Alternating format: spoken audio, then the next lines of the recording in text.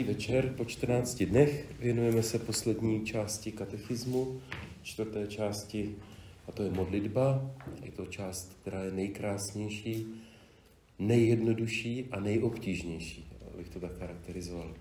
A taky nejpraktičtější, protože e, s modlitbou e, se setkává každý křesťan, každý člověk, nejenom křesťan. Řekl jsem to velice vymezeně. Takže každý člověk, který věří v Boha. Od začátku mluvíme o dvou pohybech. Pohyb od Boha k člověku, od člověka k Bohu a modlitba je prostor, kde se Bůh a člověk potkává. Že se nemíjí, ale eh, vzájemně se setkávají. Modlitba eh, není nějaké zaklínadlo, nějaký mechanismus, který když, když učiníme, tak se něco stane, Není to magi, magický úkon, ale modlitba je dar. Především aktivita Boha v člověku. To je ten pohyb od Boha k člověku a ze strany člověka to vyžaduje otevřenost. Takže do jisté míry pasivitu, ve které je aktivní především Bůh. Takže je to taková, u člověka je to taková pasivita, lomeno aktivita. Eh, spíše zdůrazňuji, že to je určitá pasivita, protože opravdu Modlitba je dar Boží, je to přítomnost Boha a činnost Boha v člověku, který se mu dává k dispozici. A to je důležitý moment, protože obyčejně považujeme modlitbu jako jednu ze svých každodenních činností, v tom lepším případě. A nevycházíme tak z kruhu vytíženosti, zatíženosti, točíme se ve vyčerpanosti, v povinnostech, muset, a my bychom měli chtít, zvláště u modlitby by to neměla být povinnost, ale měla by to být touha eh, člověka po Bohu jako odraz, eh, já nechci říct slovo produkt, ale jako, teď nenacházím slovo, plot. Ano, děkuji. Jako plot eh, toho, že jsme stvoření k božímu obrazu. Boží obraz v nás je, dere se na povrch, bývá často přikryt, ale ten boží obraz v nás je, promlouvá, proto taky jsme schopni Boha vnímat a do určité míry chápat, rozumět mu. Protýkám do určité míry, on je nestvořený, my jsme stvoření. A tomu odpovídá to, že více té boží aktivity, než té aktivity lidské. A modlitba by měl být právě prostor pro toto. Takže modlitba by je místem kdy čerpáme, místem, kdy, si, kdy odpočíváme, ačkoliv ne vždy jsou to příjemné okamžiky, protože eh, je nám vystaveno zrcadlo. Když se člověk chce stišit a vnímat Boha a vidět sebe v Boha, v sobě, v Bohu sebe, tak v Bohu sebe, tak ne vždy to bývá příjemné, protože jsme obtěžkáni nedokonalostmi, taky hříchy, eh, ze kterých se Eh, před Bohem chceme vyznávat, necháme, necháváme ho vstoupit do zákoutí a temnoty lidských záludností, záludné lidské srdce. Těžko se v něm sami v sobě orientujeme, ale Bůh ví. Takže my se mu otevíráme, aby mohl vstoupit a prozářit tu temnotu a v podstatě neklid z toho plynoucí, a do, abychom dosáhli místa pokoje, míru, občerstvení, odpočinutí, spočinutí hospodinu. A ještě bychom mohli pokračovat v těch pojmenování, která, tam, která, to, v sobě ne, která to sebou nese. Mluvili jsme tady o starozákonní tradici modlitbě, o e, zvláštnosti modlitby v Novém zákoně, kdy se Bůh stal člověkem a přiblížil se člověku jako nikdy předtím, že do božství je pojato lidství. Druhá božská osoba se stává člověkem a ani anděle nemají tuto výsadu. Takže eh, tam je značná proměna modlitby, daleko intenzivnější vztah, který můžeme eh, díky tomu této skutečnosti vlastně prožívat. Měli bychom ho prožívat, měli bychom si toho být vědomi, že tímto božím činem je člověk povýšen nad anděli a posvěcen a neustále posvěcován boží přítomností.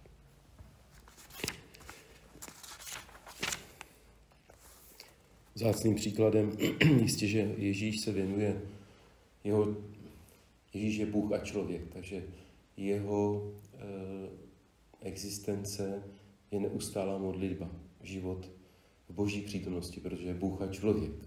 Jo, to je také cíl modlitby, cíl toho, že se člověk Bohu otevírá, aby prožíval přítomnost Boha, je právě to zboštění přítomností Boha v životě člověka. No tak Ježíš je Bůh a člověk, takže to neustálá modlitba. A Ježíš často v Evangeliu taky vybízí k modlitbě, sám se modlí, eh, odchází na opuštěné místo, on to sám nepotřeboval jako Bůh a člověk, ale chce nám dát příklad, takže když se Ježíš chce modlit, tak se odebere na opuštěné místo, následován velkými zástupy, kteří neustále po něm něco chtěli. Jo, takže byl v té spirále, neřekl bych povinností, eh, ale ve spirále poslání, které plnil v jeho případě. On to jako povinnost nevnímal. A eh, samozřejmě lidsky byl vyčerpán. Takže nám chce dát příklad, je třeba se odebrat do klidu, vytvořit si prostředí, ve kterém se člověk může stišit, aby mohl slyšet Boha. To stišení je velmi důležité. Zvláště proto, že jsme v té spirále, o které jsem tady se zmínil, neustálých povinností, co musíme dělat, eh, protože zkrátka si to vyžadují okolnosti, ve kterých kdo žije. Ať už pracovní, rodinné, osobní a tak dále. Takže eh, základem té modlitby, eh, kdy můžeme vnímat intenzivně vztah k Bohu a Boha k člověku, je stišení. A to je největší práce, tam je v podstatě ta, eh, ta největší, to největší úsilí člověka, ta největší, ta důležitost té aktivity, která se pak stává pasivitou, přechází to do té pasivity, kdy je aktivní Bůh a my ustupujeme do pozadí. On, my musíme se umenšovat, aby on mohl růst, jo? jako Jan Křtitel, nebo o tom mluví apoštol Pavel. A vzácným člověkem, pouhým člověkem, byť eh, zvláštním darem, omilostněným, obdarovaným, je Matka Boží, Pana Marie. Hodege Trix, jo, ta, která ukazuje cestu, která je prvotní církví, protože eh, ona je, byla pokorná služebnice pána. Takže tam se krásně ukazuje, do jaké míry člověk má být aktivní, do jaký má být pasivní. A ona jako pokorná služebnice eh, byla, žila v přítomnosti Boha, byla taky schopna proto říct, ať se stane tvá vůl, ať se mi stane podle tvého slova. A Bůh se stal skrze ní člověkem. Takže eh, v tom je i příkladem dokonalé modlitby, řekl nejdokonalejší lidské modlitby, ve které Bůh, člověk ustupuje do pozadí a Bůh růst, roste. To je ten plot, který počal Boho člověka Ježíše Krista. A stejným způsobem se děje účinné modlitbě člověka. Počneme plot Božího syna. Bůh, dáváme Bohu prostor a už to nejsme my, ale je to Bůh, který v nás roste a který skrze nás k nám a skrze nás ke světu promlouvá. Takže to je důležitá součást života eh, křesťana a vůbec člověka zbožného je opravdu modlitba. A tam má mnoho podob. Eh, těm, těm podobám se dneska taky chceme věnovat. Eh, ty podoby vychází z Nového zákona především. Jsou to způsoby modlitby, které jsou v Novém zákoně zmíněny. Samozřejmě už jsou před obrazy a zaznívají ty, ty způsoby ve starém zákoně, ale eh, v novém zákoně už je to potom pojmenováno přesně a eh, ten jeden ze způsobů je velebení a klanění. Sám Ježíš třeba říká, velebím tě, pane, Otče nebe a země, že jsi tyto věci skryl před moudrými a chytrými a odhalil si je maličky. Znovu zaznívá ta pas, pasivita, nebo ta aktivita lidská, která ustupuje do pozadí a přebírá tu aktivitu Bůh a člověk se stává do jisté míry pasivní. Maličký, být maličký, pokorný. Takže eh, člověk, který prožívá eh, pokoru před Bohem, tak to je člověk, který je schopen velebit Boha za, každý, za každou maličkost. Člověk, který je schopný vnímat Boha, je člověk, který neustále žasne. Jistě máme lidi, kteří neustále se diví a žasnou a je to projev takové dětinskosti spíše. A to nemám na mysli. Eh, tady mám na mysli, že dokážeme si všímat malých věcí, ve kterých eh, dokážeme objevit velikého Boha. No, nezměrného Boha. Co velikého? Nezměrného. Boha je to takové stupňování vlastně od, od těch maličkostí, až do, dojdeme od těch malých věcí k, vel, k velikosti Boží, nezměrnosti Boží. K příkladu semenko, které zapadne do země, že dokážeme objevovat, že prostě klíčí, roste. E, květina na louce, prostě jak je, jak je nádherná, ani Šalamón ve své kráse nebyl tak nádherný jako ta květina. No?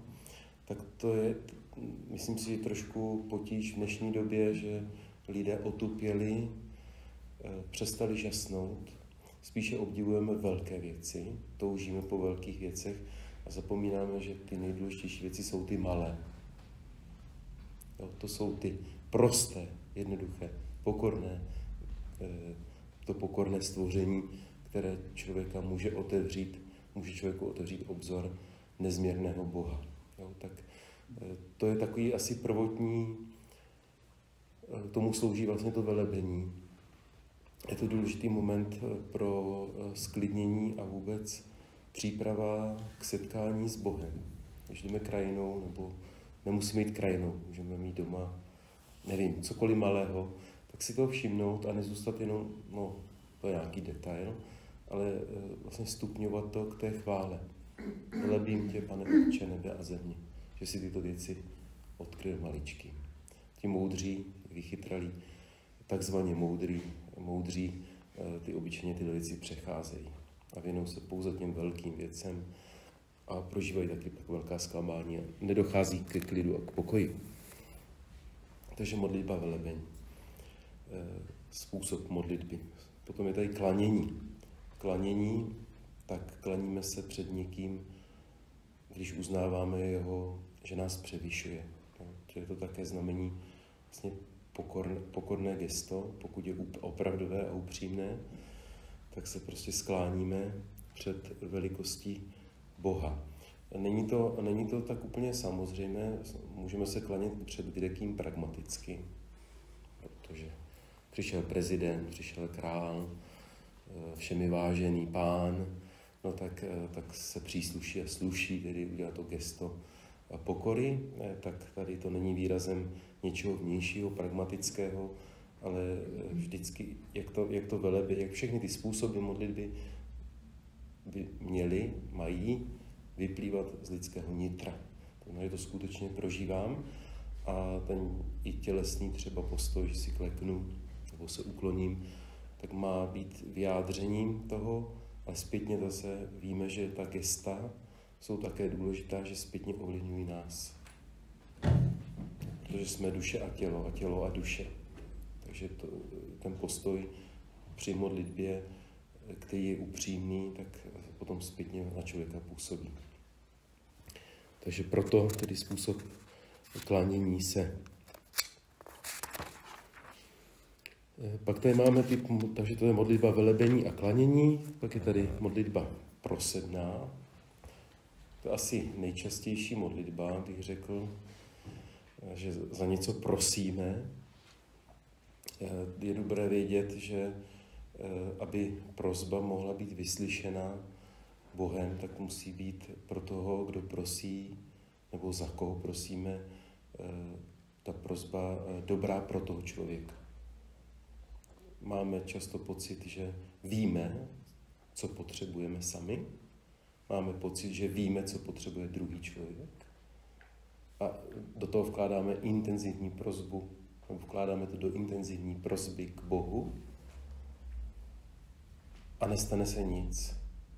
Protože Bůh ví, že to pro nás nebo pro to druhého není za daných okolností dobré, protože to nemusí, sice to může být objektivní dobro, někdy to ani nemusí být objektivní dobro, ale i když je to objektivní dobro, tak pro ten subjekt, pro toho člověka, to v daných okolnostech být dobré nemusí.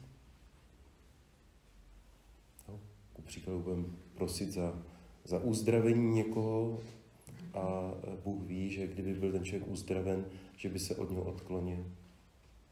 Že ten stav té nemoci ho přibližuje Bohu a není ještě to, není schopen, eh, není tak vyzrálý, ještě tak protříbený, jako pšenice na mlatě, nebo e, nějaký kov v ohni, který má vy, vypreparovat z toho, že ještě není připraven. Ano. Takže modlitba prosebná je důležitá, to je jeden ze způsobů. Ve starozákonní tradici, v novozákonní tradici, ve starozákonní tradici jsou to spíše prozby, které vyplývají z lidského žalu. V žalmech to hlavně přítomno. Fyzické bolesti. Je to úpění, volání eh, nešťastníka eh, k Bohu. Eh, nový zákon je spíš, je ta prozba zaměřena už pod vlivem toho, že silný vliv, že Kristus zemřel a vstal z mrtvých, to znamená pod vlivem z mrtvých, vzkříšení, tak je spíš eh, zaměřená jako pozitivní. Ale přesto jo, i svatý Pavel eh, mluví o eh, sténání, že ve sténání očekáváme vykoupení našeho těla, nebo naše spása je předmětem naděje, jo, v listě Římanům třeba. Takže ta prozba je motivovaná tím lkáním, tou lidskou nedostatečností a to vede k prozbě za odpuštění. Častá prozba je prozba za odpuštění. Když přicházejí eh, ke Kristu nemocní, slepí a, a, a další, tak především je to prozba za odpuštění. Jo, pane, chceš-li odpust mi, nebo můžeš mě uzdravit, tak je tam, není myšleno jenom to uzdravení od nemoci těla, ale je tam především prozba za uzdravení od nemoci duše.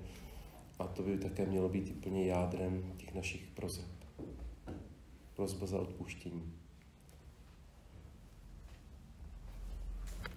Důležité vědět, že teda prozba, prozba by měla být v souladu s boží vůlí. Proto také prozba eh, by neměla být příliš konkrétní, jsem tady o tom také mluvil, protože eh, pokud je ta prozba příliš konkrétní, tak tam může být ta projekce naší své vole a ne vůle Boží. My ani nevíme, za co se máme modlit, ale Duch Svatý ví a svými zdechy se za nás přimlouvá. Ale zcela jistě víme, že jsme hříšní. Takže se nespleteme, pane, odpust mi. Jako Kristus na kříži, pane, odpustím, neboť nevědí, co činí. Odpouští i tomu Lotrovi po pravici, když vyznává, uznává svoji hříšnost a prosí v podstatě za odpuštění. Takže to je modlitba prosebná, pak je to navazuje eh, způsob modlitby, modlitby přímluvné. To je prosebná modlitba, ale ne za sebe, ale za druhého. Přímluvná. Za někoho se přimlouvám.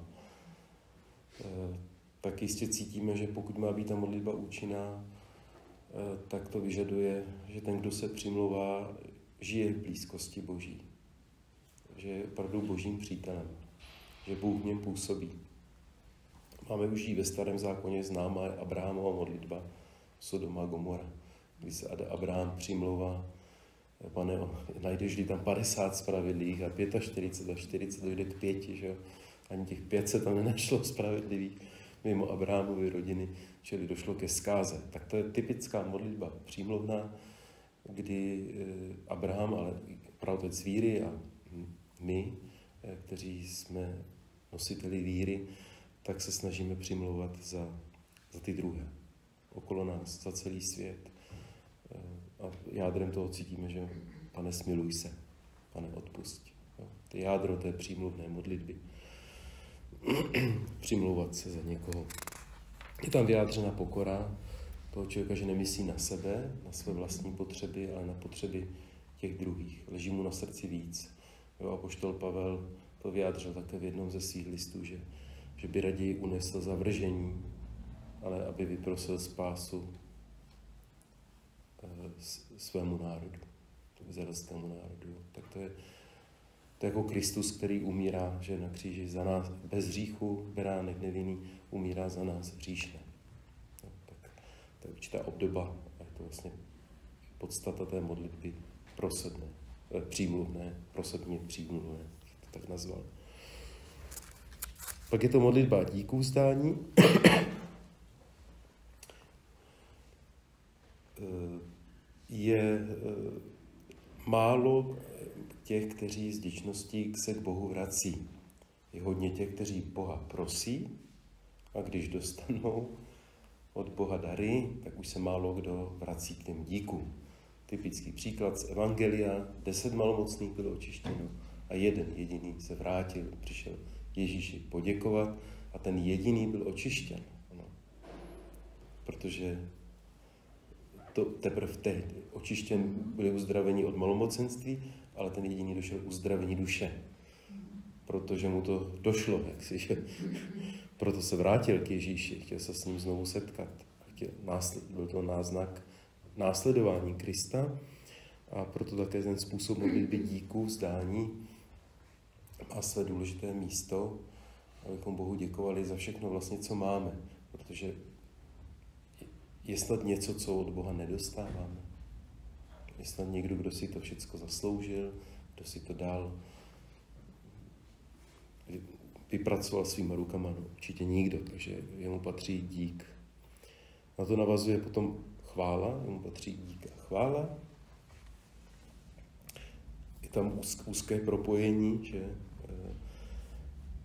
Eh, ale eh, je tam také to eh, naznačeno, že nejenom ten vnitřní dík, ale také vydávání svědectví. Někoho chválit, to znamená vydat o něm svědectví před druhými. A to je poslání vlastně křesťana.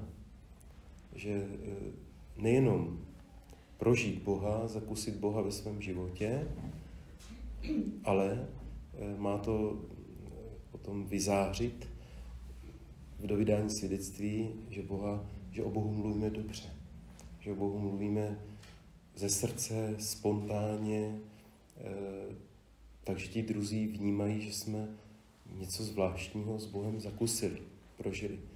To není samoučelná chvála, zase pragmatická chvála, když někomu pochlebujeme.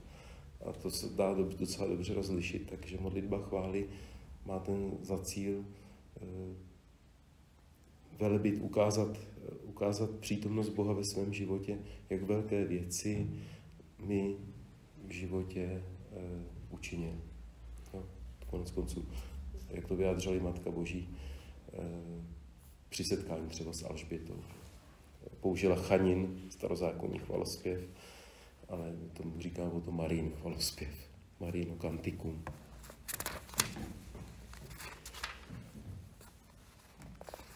Se dostáváme k tradici modlitby, respektive jaké jsou vlastně prameny modlitby.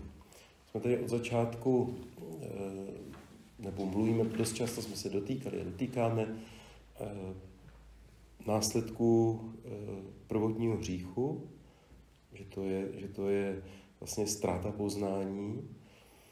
A mnozí se ptají, no ale eh, já bych rád slyšel Ježíše, a jak mluví Bůh ke mně. No, často. Protože jako málo kdo asi slyší hlas Boží, jako slyšíte můj hlas teď, nebo já mohu slyšet váš hlas. Takže se často to, si lidé tuhleto otázku vlastně kladou, jak mám slyšet když se tedy stiší v modlitbě, jak mám Boha slyšet? No, tak e, proto taky zdrojem a pramenem modlitby je Boží slovo. No, Boží slovo, e, pro nás je to především Ježíšovo slovo, o kterém se dozvídáme v Evangeliu.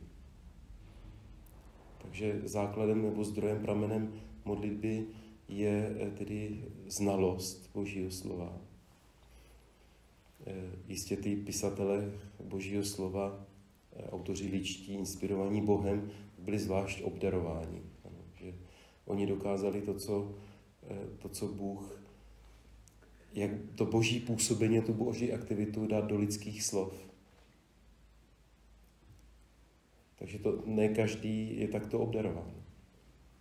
Je to, to je zvláštní zásah Boha. Je to, patří to do zjevení Boha.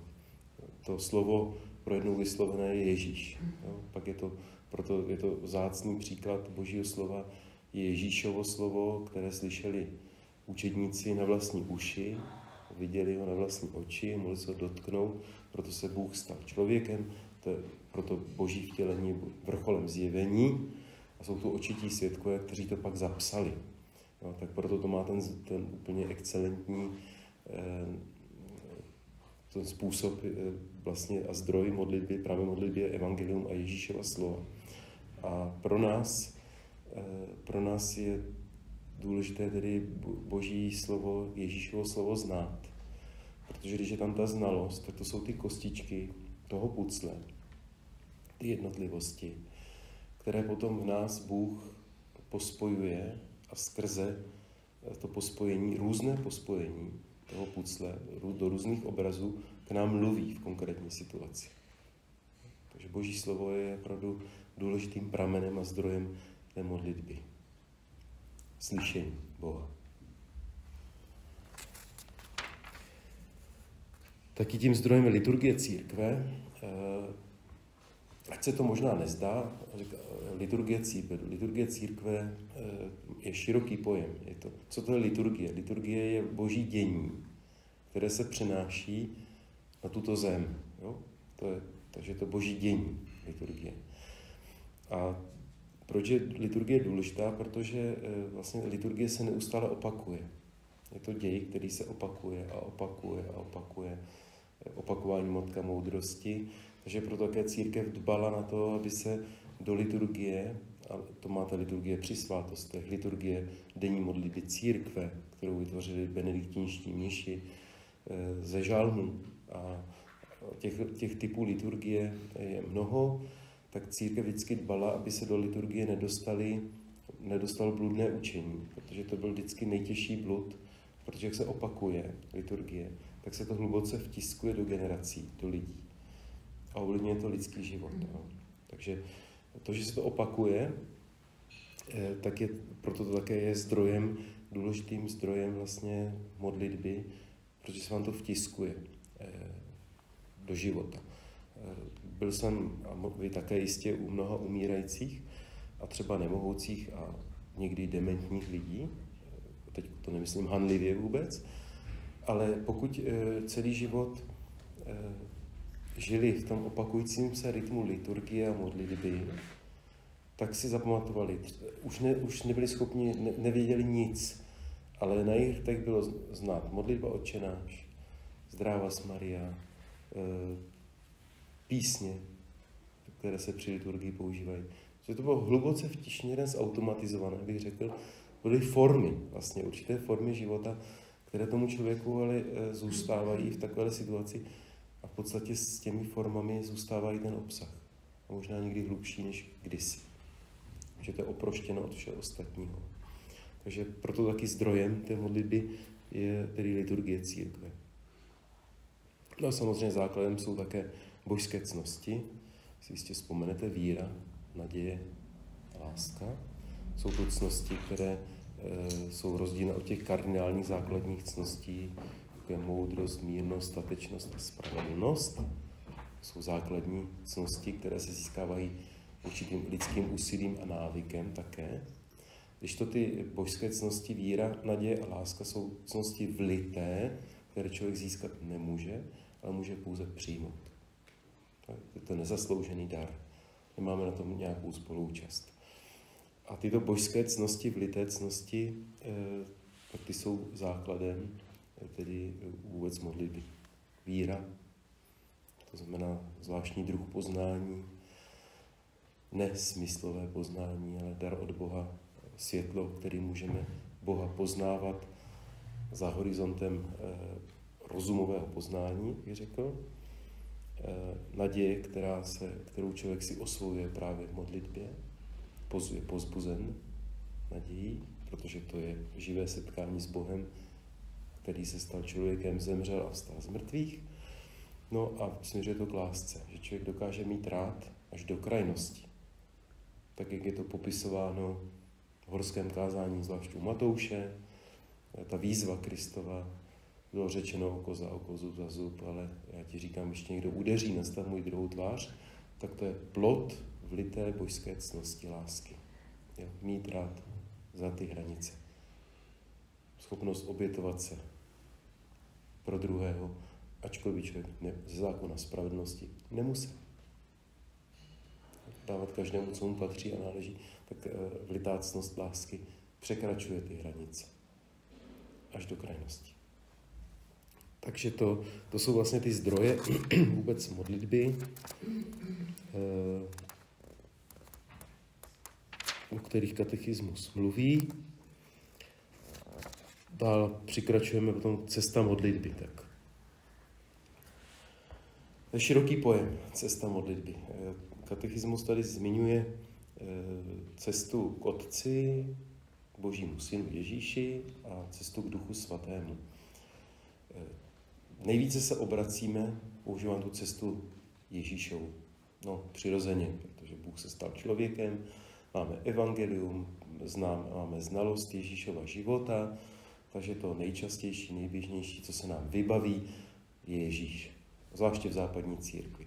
Na východě je to trošku jinak, tam je ta cesta spíš eh, cestou Ducha Svatého. Ty cesty se nevylučují. Bůh je trojediný, ano? jenom se klade důraz na určitou cestu v různých oblastech, zvyklostech a v různých typech eh, myšlení podle národností a světa dílu a tak. Eh, možná, že k otci, k otci se obracíme v každé modlitbě odčenáš, ale myslím si, že, eh, že to tak, jak si řekne mechanicky, mechanicky, otče, samozřejmě, a mechanicky samozřejmě, ale ten vztah k otci bývá taky dosti takový abstraktní. Ne?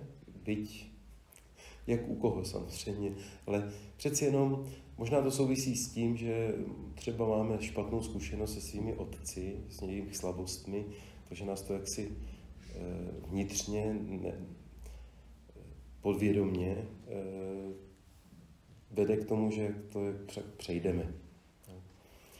Eh, možná je to také proto, že se málo modlíme k Duchu Svatému.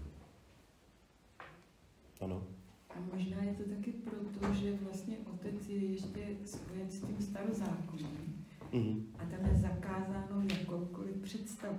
Mm, ano. Jo? ano. Ačkoliv není abstraktní, tak nemá žádnou podobu a mm-hmm. všechno přesahuje. Mm-hmm. Tak je jo, těžké ano. se k tomu mhm. vztahovat. Mm-hmm. A taky možná, že vnímáme slovo otec příliš spojeno s autoritou. Taky může být, jo, že otec je ten dirigent. Pro, pro mě vždycky pro očištění pojem otec eh, je eh, podobenství o milosrdném otci. Jo, to, je, to je něco úžasného. Líček snese to, že syn jim pohrdne a odejde a pak se vrací a ještě vystrojí hostinu. No, ta velikost Otce je tam. To je, to je nádherné místo, které určitě pomůže každému očistit eh, vztah k Otci, nebeskému Otci. No. E, jisté je, že bez Ducha Svatého nejsme schopni vyznat ani to, že Ježíš je Pán, že Bůh a člověk, a tudíž nejsme schopni k Otci přijít. Takže je to, je to opravdu na počátku všechno dílo Ducha Svatého který, který ten prvopočáteční, to je ta prvopočáteční cesta i v naší modlitbě, modlitba k Duchu Svatému. No, myslím si, že právě je škoda, že, že modlitbu k Duchu Svatému často jak si pomíjíme. Takový ten Duch Svatý je tak jako vzduch, nebo těžko uchopitelný. A přitom je ten úplně nejpodstatnější, nejdůležitější v té cestě modlitby vyvrcholující k Otci cesta k otci, návrat k otci, jako ten marnotratný syn, který se vrací k otci. Takže v modlitbě určitě se obracet napřed k duchu, doporučuji k Duchu Svatému, eh, prožít něco z Ježíšova života a vlastně vyvrcholení být v přítomnosti Otce. Hm? Tak se chtěl často, te, já si umím představit eh, to, že se člověk staví k Ježíši mm-hmm. nebo k Bohu Otci, ale v jak právě to, to největší úskalí jako stáhnout se k tomu Duchu Svatému, protože to je ta největší abstrakce přece. Je, je máte naprostou pravdu. E, asi k tomu pomůže to, co já jsem se taky teprve nedávno si osvojil, e, modlitba dechu, jo, protože proto jsem zmínil vzduch, že ten vzduch také nevidíme. A přesto bez vzduchu bychom nedýchali. Jo, a když když nebudeme dýchat, tak nebudeme okysličené tělo a, a špatně funguje metabolismus a látko a a všechno. Takže eh, nám může pomoci prakticky tak jako dýchám neviditelný, smysl neviditelný vzduch, ale podstatnou součástí, no tak při každém nádechu chci vdechovat Božího ducha a při každém výdechu vydechovat Božího ducha. No, ono to vede k uvolnění, ke sklidnění, že to, sevřenost z těch povinností vlastně opadá, takže velmi rychle dosáhnete stavu uvolnění a můžete postoupit na té cestě ke Kristu a k Otci. Takže třeba si to konkretizovat tímto způsobem. Je dech života, ruach. Na počátku duch Boží se vznášel nad vodami, že jo, a skrze něho všechno obživlo, přišel život. Tak Duchu Svatý přijď, jo, opravdu s každým nádechem vdechovat Božího ducha prostě lince a s každým výdechem ho vydechovat. Je to jednoduchá příprava a sklidnění. Mně to funguje. Takže doporučuji. Často přítom, přítomný prvek na, ve východ, na východě, si myslím tedy. Já jsem, nejsem znalec třeba východních náboženství, ale e, jako co jsem zaslechl, nebo co jsem mohl sledovat v těch, kous, v těch útržcích, tak ten dech a cvičení dechu je dosti podstatný prvek ke všemu. Hmm. A je to, a to, ta náplň, ta podstatná náplň, jistě to funguje i fyziologicky, tělesně, ale určitě ducho, funguje v duchu, především v duchovní rovině.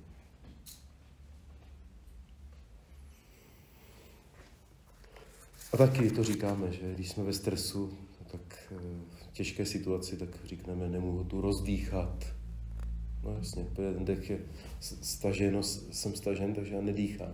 Takže to lapu po dechu, že stres, vypětá situace. No. Že to víme, ale eh, řekneme to, ale zase zpětně to nepoužijeme k tomu, aha, tak co musím udělat obráceně, co musím udělat jinak.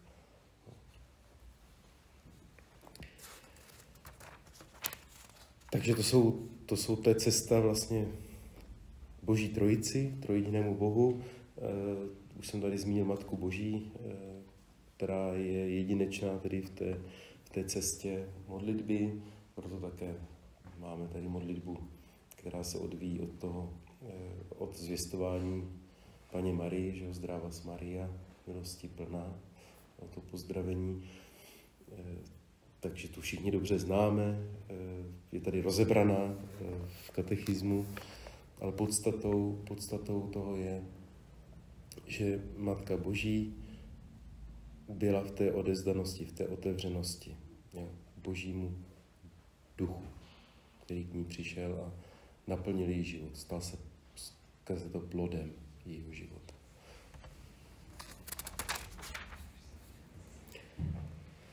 Pak jsou zmíněni tady eh, duchovní vůdcové modlitby. Eh, tak eh, asi důležitá je zkušenost starších, a teď opravdu starších ve víře. Jo? Ten, kdo tu zkušenost už učinil, má, nechci říct praxi, lepší je slovo zkušenost, praxe, tak určitě může být průvodcem tak jedinečným průvodcem, učitelem je Ježíš, samozřejmě. To si nemůžeme nikdo dělat nároky, že, že, že, že můžeme jeho zastoupit, určitě ne. Eh, celá trojice, tak jak tady byla popsána, ale přesto ta zkušenost těch, kteří, kteří mají, už to nějak prožili, tak je dosti důležitá, nebo může být nápomocná, může být nápomocná v té škole modlitby. Eh, vyžaduje to od těch, kdo doprovází v modlitbě druhé, značnou pokoru. Protože by to, je tam velké pokušení duchovní píchy. Já jsem tady, vy jste tady teprve na začátku, takže to pokušení je velmi nenápadné a proto ho tady zmiňuji. A už jsme říkali, že základem modlitby je pokora. Takže bez té pokory, bez té stát se pasivním a nechat působit Boha, čili být pokorný, tak bez toho to prostě nejde. Něco tomu chybí. Bude to mluva o zkušenosti, bude to plno pouček, ale bude tam chybět prostor pro působení Boha. Takže eh, potom takový člověk, který doprovází a je starší v modlitbě, takzvaně starší modlitbě, tak eh, to může být projekt, vlastně může produkovat eh, automaty, nebo já nevím, prostě svazovat ty lidi. Místo toho, aby, aby byli uvolnění pro Boha, tak se stávají, dostávají do křeče. Nedýchají duchem božím prostě. No, tak je, tam, je to velmi, velmi citlivé, velmi nebezpečné. Jak katechismus tady mluví o celých zástupech svědků, počínají lajky, přes kněze, biskupy a řeholníky a řeholnice. Nevždy tomu tak je, že jsou to lidé starší v modlitbě a zkušení v modlitbě. Nevždy ani u os- zasvěcených osob eh, je jistota v tom, že sami se vůbec s Bohem setkali někdy, musím to říct. A taky setkání s Bohem, o tom můžeme přijít. Ono to, ono to, to je poklad v nádobě hliněné. Jo? To, to, co máme střežit. A střežit ne v křeči, ale eh, to nádoba, která je naplněna Bohem, že každý člověk, a ona se vyprazňuje a potřebuje doplňovat Božím duchem. Takže je to, je to jistě, jistě zlomový okamžik v tom člověku, ale nemusí být trvalý, pokud člověk vyschne, vyprahne a ta nádoba rozpuká. Pramálo, k čemu platná. Takže eh, vždycky být na to, eh, pokud někomu inklinujeme, eh, u koho vnímáme, že, že by nás mohl doprovázet v té modlitbě, tak ale vždycky si nechat velikou rezervu. Je to pouze člověk. Tím chci, chci, chci říct, nenechat si e, vzít tu originalitu, ve které Bůh mluví k člověku a ve kterém každému člověku různě působí. Já mám s tím osobní zkušenost. To, to je tak, že když zlížíme k někomu, tak se, tak se ho úplně automaticky napodobujeme ve všem. Jo, když příliš zlížíme k člověku, a vlastně už pak to není zlížení k Bohu, ale k tomu člověku, eh, tak může dojít právě k těm křečím. A někteří to ještě zdůrazní, že oni musíte uposlechnout a tak. Tak si vždycky nechte odstup a nechte si tam ten prostor pro boží působení.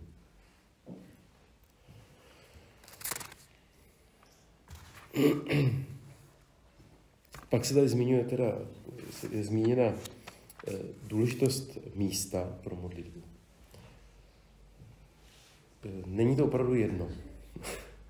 Eh, současně modlit se můžeme kdekoliv. No, to, to jako, není to jenom v kostele nebo na určitém místě. Někdo, někdo se honí za energetickými místy Keltů třeba. Že? Mě to opravdu čuch měli. Jo. ne, že ne, byli extrémně vnímaví a, a lidé jsou někteří vnímaví na různé energie a jsou jo, z různých i fyzikálních důvodů. Takže jsme, máme tu vnímavost, máme být vnímaví, konec konců na ty malé věci právě, být citliví, citlivět. Eh, my jsme otupěli. Si vzpomenu vždycky tady, na, je to pouze film, jo, ale bohové musí být šílení, jste to viděli.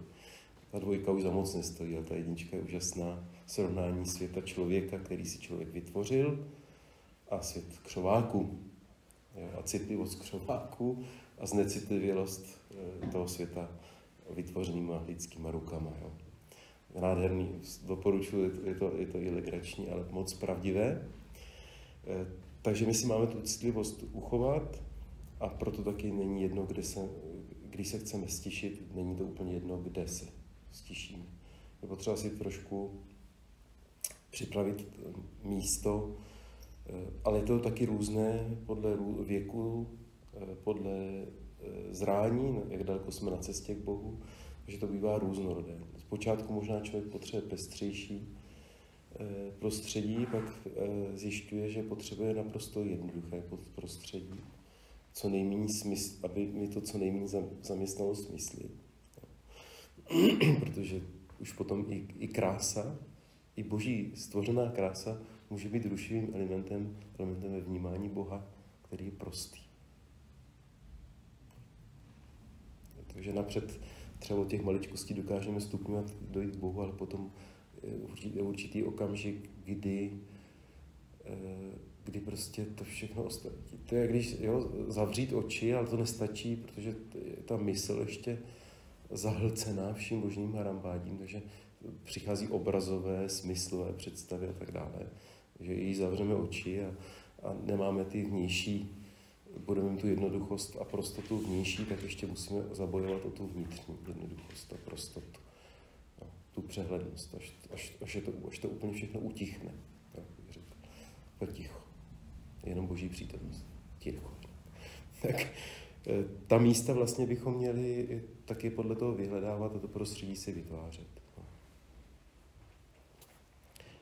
Ale to, v to musí každý, to je originalita každého a musí na to přijít. A jsou taky různé etapy života a okolnosti a všechno vyžaduje něco jiného.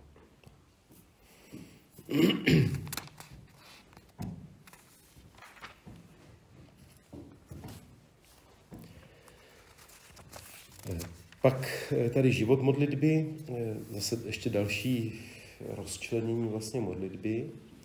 Je tady zmíněna ústní modlitba. Eh, v čem je důležitá ústní modlitba? Modlitba je přeci to je věc e, duchovní, takže to nepotřebujeme nepotřebujeme tom mluvit. Já jsem si to uvědomil teprve nedávno, vždycky jsem se zamýšlel nad tím, proč dříve před druhým vatikánským koncilem byla povinnost, aby se kněz modlil denní modlitbu církve polohlasem. Když je sám. A došlo mi, jsem si říkal, no to je, to je zbytečné. Jo? A došlo mi, že ne, eh, protože eh, jedna věc je myslet a jiný proces je potom to vyslovit. Jsou to opravdu jiné dráhy v mozku asi, duši. A jestli máte zkušenost, možná taky. protože kolikrát jsem si, pak jsem si rozpověděl na svoje studentská léta, kdy jsem četl skripta, no, rozuměl jsem tomu naprosto, teď jsem mi takhle zavřel, měl jsem to říct. A já jsem nebyl schopen, já jsem nevěděl nic. jo, takže jiný proces to sformulovat to potom do těch slov, tak to prostě asi zaměstná, v tom mozku to nějak funguje. Takže že vlastně je tam ten proces vnitřní a, a vyjádřen navenek, ale pak taky, když člověk to vysloví, tak pak to zase sluch vnímá zpětně. Jo? Takže se zaměstnává víc smyslu, je to intenzivnější. Jsem víc toho jsem, ano, jo, víc to působí na člověka. No. Takže pak jsem zmínil názor, že ústní modlitba je důležitá modlitba. Stejně jako ostatní typy a ostatní způsoby modlitby. Pak je tady rozjímání, to je ta činnost vnitřní, kdy se zapoje naše duševní činnost, především duch, rozum, Eh, duše. A je to, je to vlastně přemýšlení, eh, přemýšlení o Bohu na základě těch zdrojů, o kterých jsme tady mluvili. Jo? Především ty zdroje Boží slovo, lité božské cnosti, třeba liturgie. A eh, je to určitě důležitá součást, ale ještě to není vrchol modlitby, protože tam je velké nebezpečí, že jsou to projekty lidské zase nebo lidského génia. Vím všechny souvislosti. Jo, a teď to rozebírám do posledního šroubku, do poslední částečky a můžu mít i pocit, že jsem dobrý, teda duševní pícha, duchovní, duchovní pícha. Eh, takže rozjímání je důležité, ale zase eh, musíme být bdělí, aby to, nebylo, aby, to ne, aby to nebyly naše lidské projekty a lidské projekce.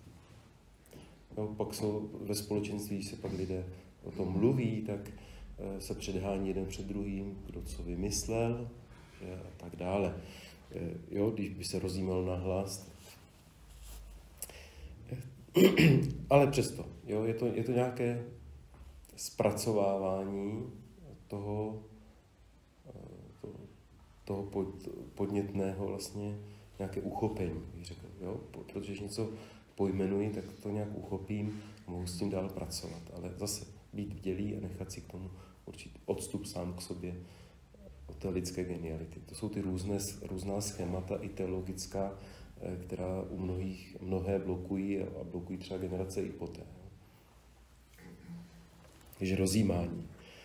No a pak je eh, vlastně vrcholem je vnitřní modlitba. Jo? Ta modlitba srdcem. A taky to můžeme dospět, nebo se to nazývá kontemplace, nazírání. Prostě eh, čiré nazírání, kdy opravdu všechno utichne. Kdy už eh, nemáte potřebu mluvit, nemáte potřebu přemýšlet. Je to až nepochopitelné, jo, je to taková jeden kazatel past, eh, evangelikální, myslím Mark Gungor v jedné, na YouTube to najdete, rozdíl mezi mužem a ženou, a tam mužský, ženský mozek. Ale on to říká rozdíly, že, eh, že muži v tom, že to, jde, že to jde s náš muži, protože ten je schopen mít krabici nic, nothing. Žena, tam to, žena spíš smýšlí, že všechno souvisí se vším. Z handicap muže je to, že nemůže mít tu krab, víc krabic otevřených najednou, má jenom jednu a žena může mít všechny pozvodvíraný a všechno souvisí se vším. Takže, a jsou to určité legrační jako postřehy, ale myslím si, že dobré postřehy. A to samozřejmě nevylučuje, že e, kontemplaci, že, že dosáhne kontemplace žena, jo, vnitřní modlitba vůbec ne. Ale opravdu je to tento nic. Ta krabice, že když se mi někdo zeptá, na co myslíš, no, myslím na nic a opravdu na nic nemyslím. Jo. E, tak eh, to, to vlastně v tom stavu té kontemplace nastává, že už jenom vnímáte, jediné, co vnímáte, je boží přítomnost. Ale ta boží přítomnost vůbec jí neroz, jako, to se nedá rozlišit, to se nedá pojmenovat. To je prostě prázdnota, která je plností. No, tyhle paradoxe to naplní. Jo? Prázdnota, která je současně plnost. Tyhle protiklady se tam jako skloubí. Eh, určitě to třeba je důvod, proč Jáhen Štěpán, když byl kamenován, byl schopen eh, prosit Boha za odpuštění těm, kteří ho kamenovali. Jo, je to stav, ve kterém opravdu třeba necítíte bolest. To, to se odpoutáte, prostě smysly odpoutáte, rozum odpoutáte.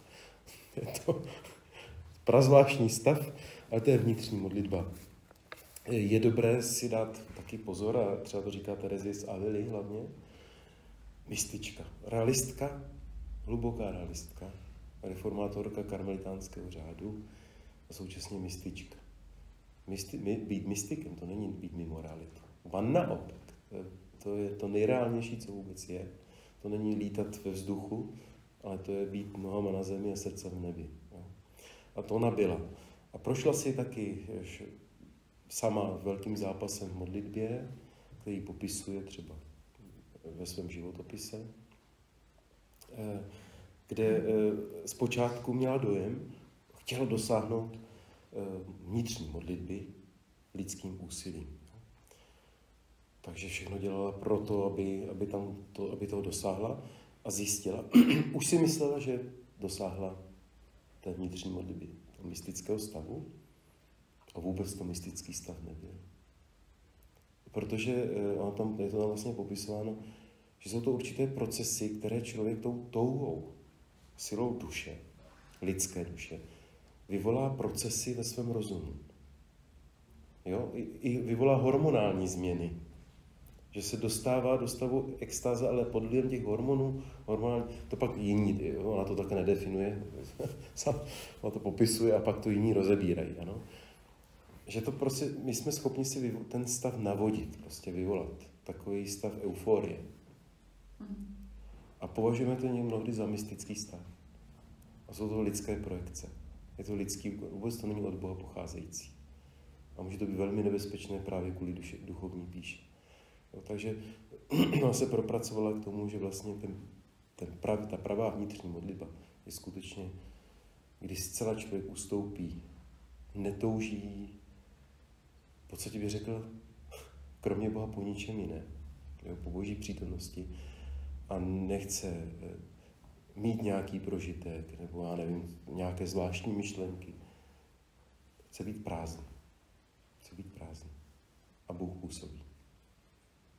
Tak eh, to je to úskalí, kterým se člověk, eh, který je pravdivý a upřímný, kterým se musí jistě prokousat, protože ta touha prožitku Boha může být je správná, ale může vyvolat tyhle ty stavy, které nejsou boží, jsou lidské.